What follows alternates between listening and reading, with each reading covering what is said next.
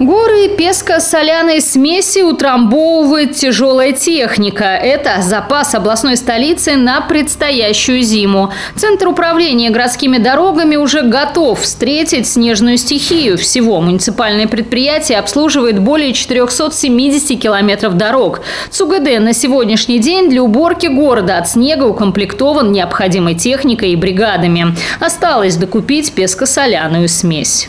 А, на сегодняшний день заготовлено а, в районе 25-30 тысяч тонн а, пескосоляной смеси.